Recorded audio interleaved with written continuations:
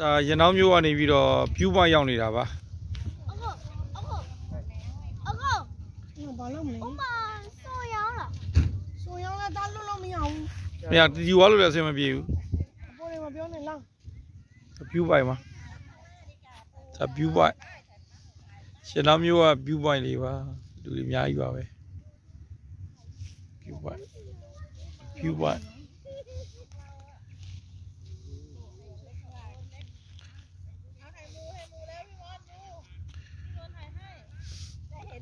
ရနောင်းမျိုးကြီးကကြက်တဲ့နေရာကြီးတောင်နေပဲသူကရှမ်းပြည်နယ်ပုံစံမျိုးပဲเนาะနော်တောင်နေဝင်းရံထားတယ်တောင်နေဝင်းရံထားပါတယ်ရဲ့တော့ပဲပဲ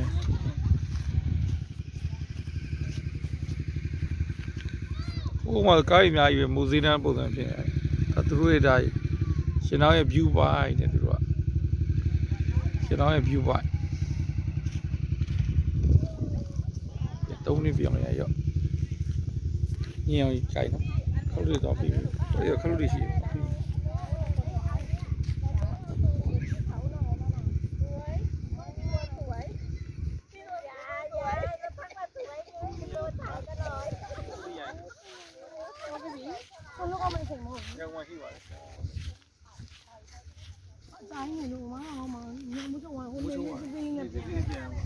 ဝိုင်းရဲကူးလို့မရတော့